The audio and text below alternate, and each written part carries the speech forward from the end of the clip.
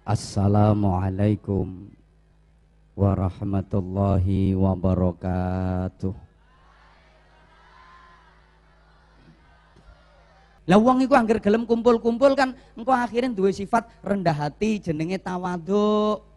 Nek gelem kumpul-kumpul ora sombong, ora takabur tapi rendah hati. Mulane Bu, Bu. Kanca-kanca sampean niku sampean kandhani Aja ming ning omah tok, utak-utek ngutek, ubak-ubek ning omah, melu metu kumpul-kumpul yasinan, tahlilan, solawatan, manakiban. Lah nek ming ning omah acarane paling mek mangan, ngombe, ngising, turu, kelon, mangan, ngombe, ngising, turu, kelon, mangan, ngombe, ngising, turu, kelon. Lah terus nek sing ning omah wae meneng-meneng ngoco, ngilang, ngilu, ngilang lu rumangsamu ning omah wis kaya ayu-ayu dhewe wong mergo ora ana saingane Nek jajal game metu wis kumpul karo wong sak pirang-pirang ngene iki. Ha. Ayumu ning omah kuwi entek riwayate.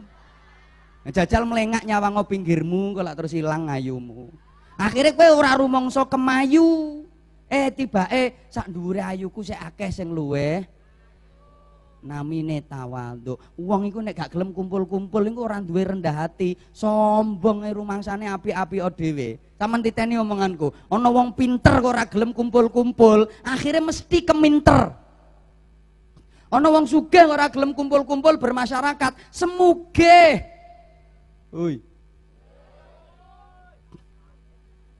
Wong ayu ora gelem kumpul-kumpul ya terus kemayu pejabat orang gelem kumpul-kumpul, orang gelem merakyat, kuwi mesti terlaknat. Apa muni keparat orang mentolo aku. Kebrucut.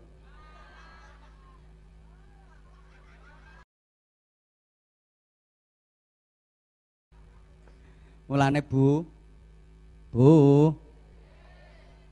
Dipirengke Bu nggih. Ya sing gati karo bojomu. Mbak No, bojomu lunga nyambut gawe terus mulai pahami ketika suamimu pulang berada di depan rumah itu sebuah peristiwa besar sedang terjadi di depan pintu rumahmu Saman kudu syukur, alhamdulillah. Lho ki umpamane bojomu kok lali iso mlebu omahe tanggamu.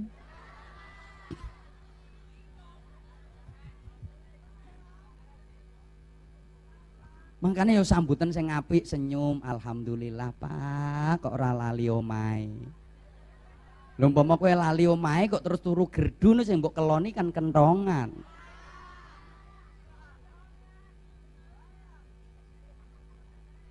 Bu, kaya penjenengan pakai jilbab, pakai kerudung, Niki asli nih sing macain jenengan sopo Kanjeng Nabi yang menghias dirimu sehingga dirimu berbusana muslimah menutup aurat, berjilbab, berkerudung. Rasulullah yang menghias dirimu nampak terhormat, anggun, mempesona, kelihatan cantik. Nek di sawang kok sedotan aku ah.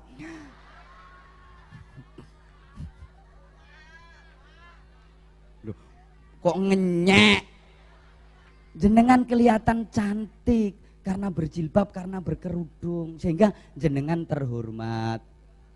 Engkau penjenengan pasti dinilai baik, dipandang baik oleh Allah. Kalau Allah sudah menilai baik, kabeh-kabeh yang menilai baik, wong-wong do menghormati jenengan. Nah, yang paling gampang ya bakul-bakul no pasar kuwi to, Bu. Jenengan no pasar kok kudungan kok jilbaban, bakul-bakul itu bengok, belanja nopo Bu kaji. Ya padahal penjenengan pojokane Mekah urung tau ro. Lha kuwi wis dimulyakno karo bakul diceluk Bu kaji.